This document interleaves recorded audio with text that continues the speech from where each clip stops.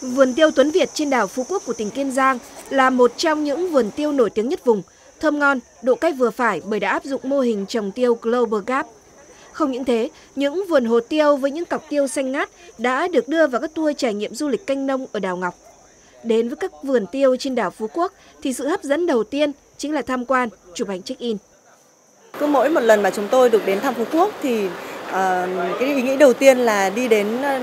đến thăm vườn tiêu và để được mua các sản phẩm tại vườn tiêu. Khi trải nghiệm ờ, ở Phú Quốc thì tất cả các cái sản phẩm, à, các cái món ăn ở Phú Quốc uh, giống như là kho cá hay là bất kể một cái món ăn gì đó thì họ đều cho hạt tiêu vào ăn rất là ngon. Khi mà đến được tham quan vườn tiêu á, thì em rất là ngạc nhiên tại vì đây ngoài việc mà mình mua mình dùng sản phẩm thì mình đã được tham quan cái việc mà sản xuất là tiêu tại nơi đây.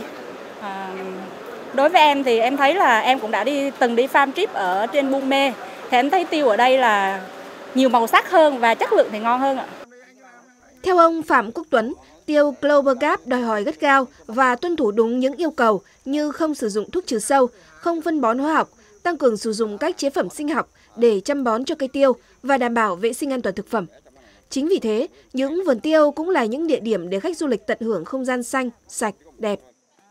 Phân bò ủ, chuồng nó quay một, rồi phân cá tươi nhũ mấy tháng trời vậy đó. Thì cái tiên mà khi mà nó chín đỏ mình phân ra ba loại. Đó, cái chín mình lấy riêng, cái sống lấy riêng, nó phân ra ba loại, loại nhất, loại nhì, loại ba. Đó, bị vô trong máy mình làm nó ra chín ra chín, còn à, tiêu xanh đó là mình làm tiêu tiêu loại hai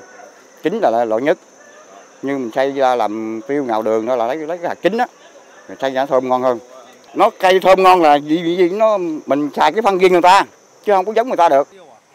Hồ tiêu Phú Quốc ngày nay được chế biến thành nhiều sản phẩm như tiêu khô, tiêu xay, muối hồng tiêu, muối tiêu chanh để phục vụ chủ yếu cho khách du lịch và tiêu thụ trong cả nước. Bên cạnh đó, tiêu Phú Quốc còn được xuất khẩu sang Mỹ và châu Âu.